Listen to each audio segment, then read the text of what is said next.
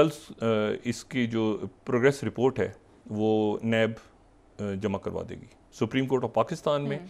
और उसमें जो चेयरमैन नैब की तरफ़ से आज एहतसाब अदालतों को ये चला गया है रिक्वेस्ट चली गई है कि वो मुकदमात को खोल दें। और तमाम मुकदमा जो बंद हुए हैं और उसके ऊपर फौरी तौर पे अमल दरामद हो गया शुरू। ये उसका हिस्सा है जो पूरे मुल्क में गंदम पूरे मुल्क में करेंसी पूरे मुल्क में ये पेट्रोल स्मगलिंग पूरे हम्म। मुल्क में ये जो यहाँ से अफ़गानिस्तान की सरहदों से जो मैं बाज़ दफ़ा सुन के तो बंदा हैरान हो जाता है उधर भेजते हैं वापस मंगाते हैं महँगी करो ये ये जो है ना अजीब सा। तो ये सारा जो है ये एक पूरा जो ग्रैंड ऑपरेशन है मुल्क को मुल्क के अंदर और ये एहतसाब नहीं है इसको जहन में रखें। एहतसाब सिर्फ़ उसका एक एलिमेंट है। वो ये है कि आपने उसको ठीक कैसे करना है।